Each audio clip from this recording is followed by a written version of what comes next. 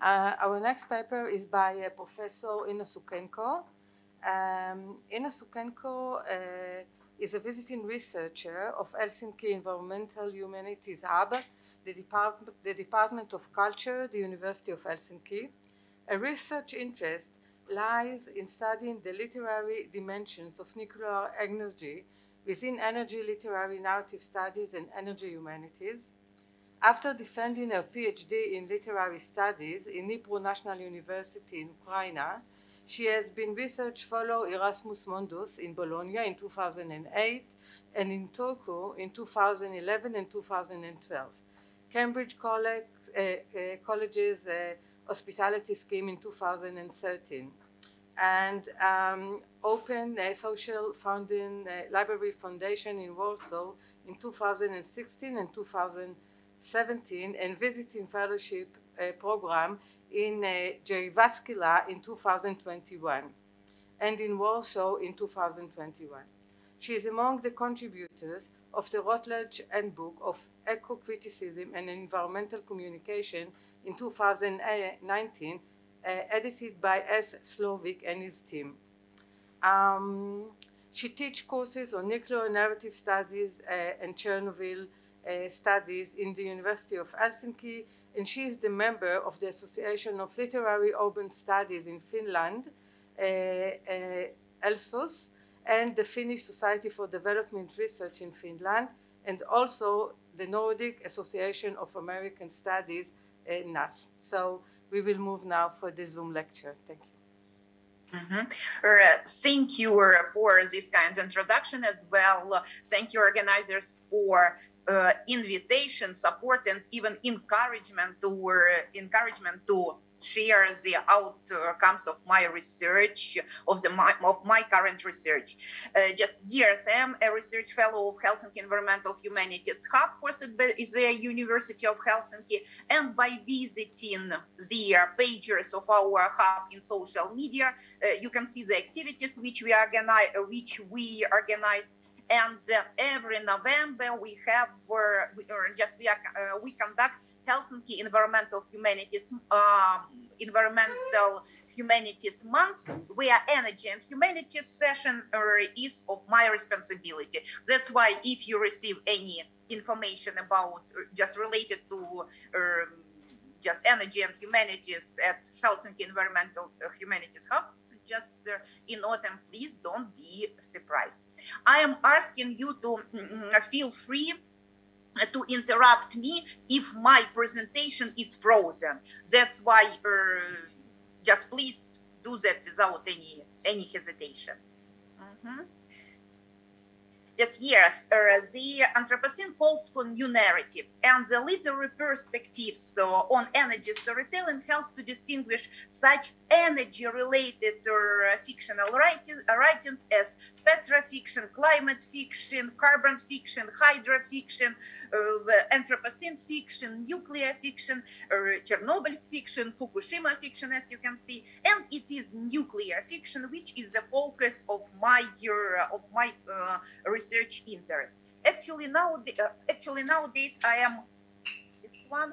Uh, actually, nowadays I am research, as my research project deals with the investigating the narrative tools of emoting nuclear energy in nuclear fiction with the focus on the comparative narrative analysis of storytelling nuclear energy, nuclear power in North American and the East European, East Central European uh, literary practices within the nuclear Anthropocene rhetorics, which helps to highlight the uh, literary frames of emoting, uh, of emoting uh, nuclear energy within our energy dependence or dependent society. So the literary imaginaries of nuclear energy uh, in nuclear fiction within the post-Chernobyl age is um, just is uh, are in the focus of uh, of my um,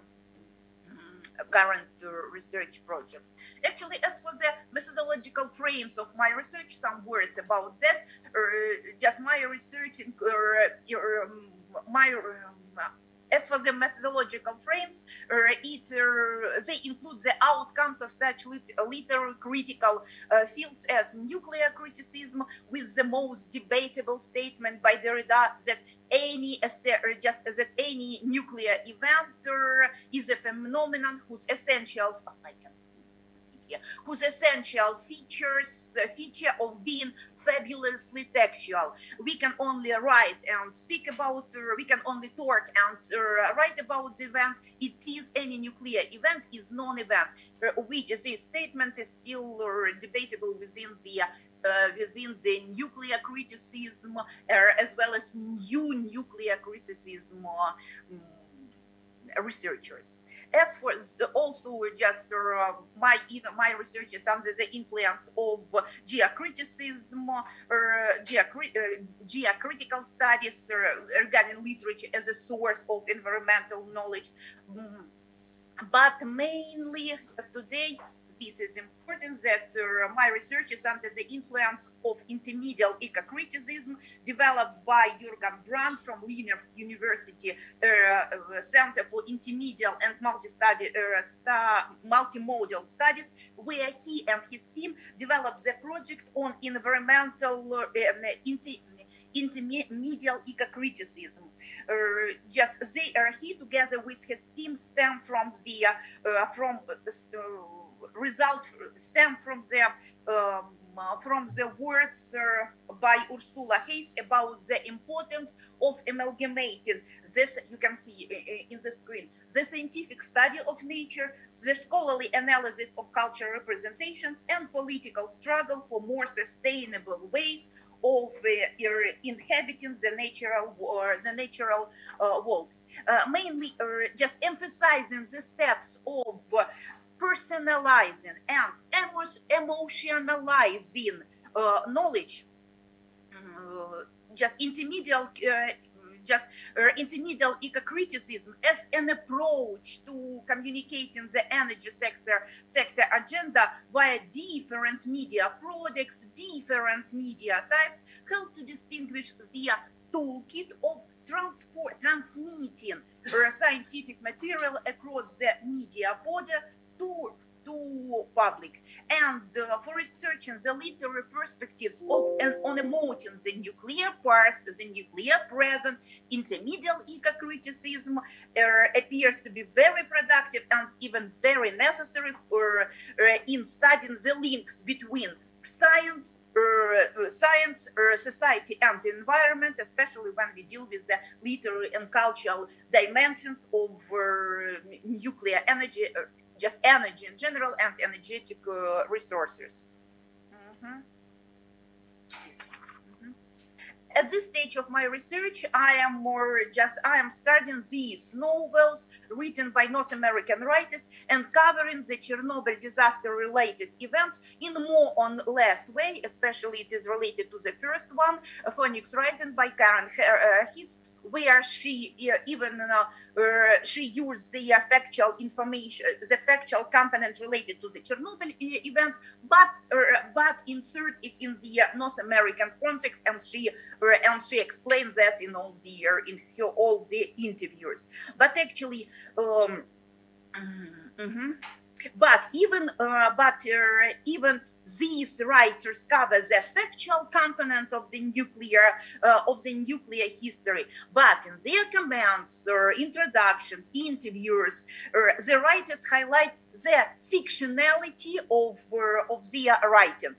These novels belong to so uh, uh, I have I have mentioned that they do they highlight the fictionality of of the of um, of the works. All these novels belong to belong to Chernobyl, uh, just uh, can be regarded as uh, uh, Chernobyl fictional uh, fictional writings with dominating. But in this aspect, it is uh, the most important for me. It is the motive victimization and monsterization, just as in the dominating motives of narrating the nuclear the nuclear event.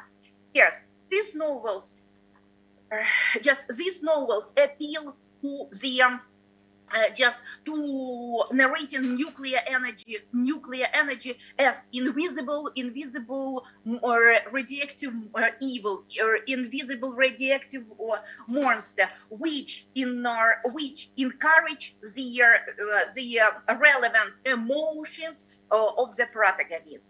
But.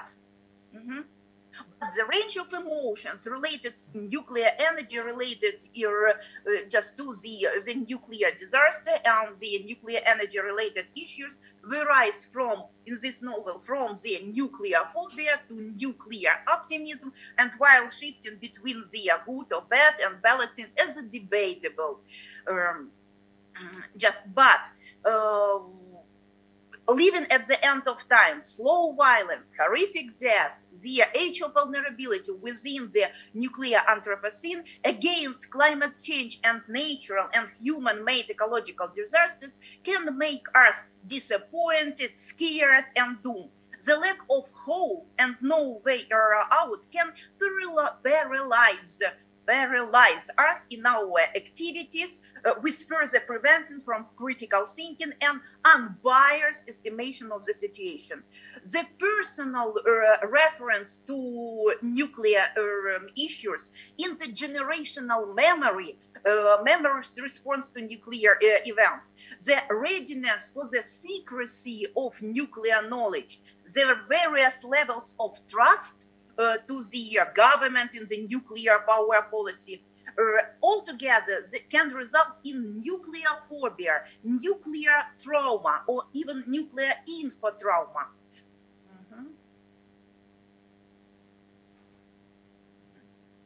What uh, but what can trigger hope and show the way out by providing alternative narrative of storytelling and reconsidering the, uh, the nuclear uh, the nuclear? In this concern it is your just i think that it is useful to just for me it was a huge um, uh, huge um, discovery uh, just of facing the uh, slow hope concept introduced by christof mauch the director of the rachel university Center for Environmental Study uh, for Environment and Society in Munich. His slow concept hope appeared as an alternative to Nixon concept of slow violence. Uh, just which describes the gradual and almost invisible nature of uh, much environmental uh, changes. Uh, he just his um, his uh, slow hold concept highlights stories that often fail to make their headlines but represent a slow but represent a slow but positive uh, positive change. The search for hope doesn't diminish the scope of the problem to be faced. It is not the synonym uh, of optimism. On the contrary, Christof Mauch shows that it is possible to look at stories of hope as alternative to the stories of crisis. And these stories can help us to think creatively and, uh, and act uh, courageously in those times when, uh, when health, ecological, social, and economical emergence, emergencies uh, converge. Uh, so, um, mm -hmm. Uh, for Christof Mauch, uh, uh, for Christof Mauch, it is clear there what to do. To counter the fears of disaster, we need to identify situation or situations, visions, and actions that help us to imagine the, uh, the different, more the, the different perspective on the ecological world. We need not only recognition of our of the alarming situation, but also uh, we need alternative narratives of uh, stories of survival. So he, uh, slow hope comes out of the uh, context of critical thinking. It encourages setback the, dia- the dialects of ecological crisis, environmental awareness, and necessary things. The concept of slow hopes or uh, of slow hope suggests that we cannot expect things to change overnight. And Christof Mauch represents three components of uh, of uh, of um, um, of representing the alternative alternative stories or alternative stories. The first one that uh, uh, starting point, yes, you can see on uh, on them that starting point in fear that fear, uncertainty, and crisis can be a starting point for survival, then which leads this survival narrative can be a, uh, can be a trigger can uh, be a trigger for hope and change narrative. And what is more important, he highlights the knowledge component in uh, in in our um, in narrating the alternative, uh, the alternative, uh, in representing the alternative narratives. Mm-hmm. Yes, the appeal to the just uh, when we uh, took into account the the uh, the novels which we understand just the no these novels understudy narrating the uh, the nuclear disaster they appeal to the factual component the spatial and temporal data social and cultural realia and their introduction into the literary space of of fictional writings helps us to depict nuclear localities and nuclear toxic legacies. They tend to shape their they help to shape the spatial-temporal settings or spatial-temporal modality where spatial-temporal properties of depicting nuclear events and phenomena of the nuclear uh, history helps us not only to uh, consider the inclusion of an encyclopedic data, scientific facts, in uh, fictional writing, as well as to regard them as archives of uh, the nuclear epoch, but uh, help us to mm, but help, but accompany but uh, but they are represented accompanied with the emotionally colored narrative emotionally colored life writing mm-hmm. Uh, this combination of this amalgamation of the factual and uh, uh, factual and fictional narratives results in, in framing their their simulation of, of shared experience with the help of nuclear uh, nuclear fictional writing, even taking uh, even taking a risk to face the situation of over emoting empirical facts or empirical facts such spatial temporal modality uh, enhance uh, of fictionalizing the nuclear history, the nuclear events, uh, enhance, enhances framing nuclear uh, nuclear literacy, nuclear competences uh, via communicating, uh, via, via emo, emotionalizing nuclear knowledge in in fictional writing, and even more just one of the novel Bombshell by James Raiff represents in depicting the Chernobyl events happened there, happened in the Soviet Ukraine. He represents uh, he represents the spatial temporal component of narrating the uh, the nuclear history, the nuclear events of uh, of United States to their to his uh, readers. So uh, fictionalizing non-violence, uh, uh, fictionalizing non-violence, uh, non-violence in uh, in nuclear fiction demonstrates the just demonstrates the following or demonstrates the following aspects. just first of all, crisis and first of all, fear, uncertainty, and crisis can be regarded as a starting point. point, and really we can see that such emotions and distress terror trauma, dis- disappointed, nuclear phobia, even hatred to the uh, just to the um, just uh, even hatred related to the nuclear nuclear energy or nuclear power plant, together with curiosity and investigations, in, uh, encourage the uh, encourage the uh, protagonist switch to uh, to find the alternative scenario and uh, uh, and they can be regarded as a whole as a hope and change narrative. The following one. This novel shows that they show the switch from survival narrative to hope to hope and change narrative uh, through the following or uh, through through the statements through through uh, through the, uh, the following statements that survival is possible, the exclusion borders are transparent, and this uh, just the protagonist can enter can enter the exclusion zone and and leave it, and this Uh-huh. And this um, survival narrative demonstrates that the protagonist experience uh, just uh, can experience in the indigenous human uh, environment uh, paradigm and um, and in this case in this case fictional uh, fictional uh, nuclear fictional writing can be regarded as a tool of simulation of experience of simulation of experience and in uh, just in uh, in my case it is the simulation of new uh, uh, simulation of experience and, and nuclear nuclear trauma nuclear nuclear um, just nuclear experience. And the last one nuclear fiction can be regarded as the um, can be regarded as the um, tool of trans of transiting knowledge. Yes, just and this is a way. Just in this perspective, just nuclear fictional writing can be regarded as a data storytelling, as a not only as a data storytelling, not not only as a pool of archiving uh, data.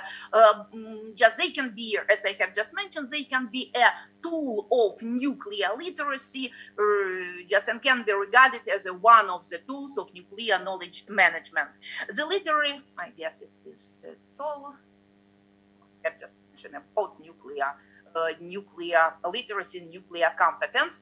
Um, actually, the literary, uh, the literary parameters of profiling hope as alternative alternative scenario of uh, violence in nuclear nuclear energy storytelling with the aim of reconsidering the post-apocalyptic and post-traumatic rhetoric of energy dependence are studied here in the aspect of outlining the narrative uh, toolkit of situating uh, survival, uh, uh of situating uh, um, survival as a starting point for hope uh, and for hope and um, and, and change.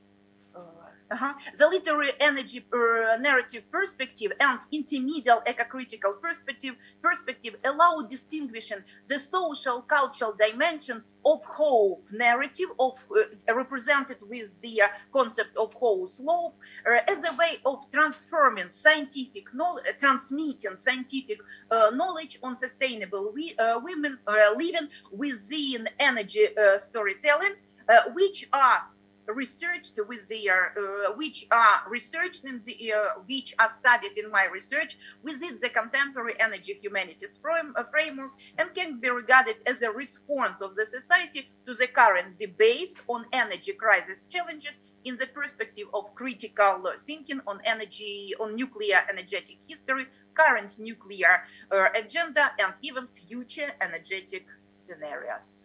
I guess that